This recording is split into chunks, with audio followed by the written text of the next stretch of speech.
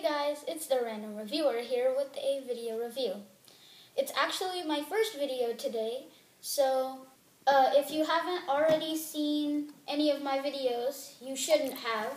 So today and the rest of until December 24th, 2014, I'll be opening the LEGO Star Wars 2014 Advent Calendar.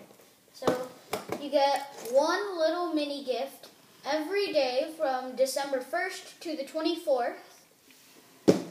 And so some of the mini, the minifigures that you would get, or some figures that you get, are the Festive Astromech, which is a Christmas tree. You get the Snow Trooper. You get the TIE Fighter pilot. A Super Battle Droid, who is, I believe, rare. You get Luke Skywalker with the new 2014 printing. So he has um, a more shaped face, which is I, I, I like that because it's more detailed. You get a Rebel Snowspeeder pilot. You get a, a clone trooper who has a Santa hat and a mug for some reason. And then you get General um, Rieekan, I believe you pronounce that. I'm not completely sure. And then you get your Santa Darth Vader figure.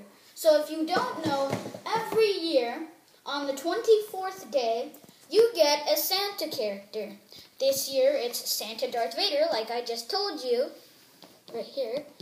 Last year it was Santa Jango Fett, I think. I'm not sure if it was Boba Fett or Jango Fett. The year before that, it was Santa Darth Maul. Before that, it was Santa Yoda. And I don't think they've had any advent calendars before that. Now, there's also a Lego City 2014 advent calendar, but I couldn't get that, so I'm sorry. So anyway, let's open this up and see what we get. Okay guys, I'm back. I opened it already, just like the sort of like the bottom part. And what you actually have to do is you have to flip it over and then cut off the tape. And when you put it down, you get your a little playmat sort of thing. Right here you have all of the days in uh, December. And for every day, so like today is the first. So today we're obviously only going to be opening day one as it is December 1st. So let's do it. You have to actually, it's like a little door and you pop it open. It's a little tricky, but you can do it. So hold on. Oh, that was sudden. Okay, so today it uh, it looks like we get a little mini starship build, as you can see here, and it has the actual instructions. Let me check to see if it tells you what we're building. Nothing. But there's a little bag in here. Let me take the bag out. And boom. These are our pieces. If there's anything in there, let me check. Hold on. I think there's something else. Ooh, I feel something. Okay, guys. Let me see if I can get it out. Mm. This is what came out. Sorry, guys. There was actually nothing else in here. Um, so let me open this. Bag of chips. And slowly down. Be careful that you don't lose any of the pieces if you're working on a table or something. Okay guys, so we finished building it and it's actually what we think is a turret. If you don't know what a turret is, it's a station where a soldier in a battle will stand behind it and shoot his enemies without risking having to go up onto the battlefield. There, these two studs are included for what we think are for a person to stand on and come right behind the turret and shoot. So this is what it looks like from all sides. See, so you can see it looks like this from front.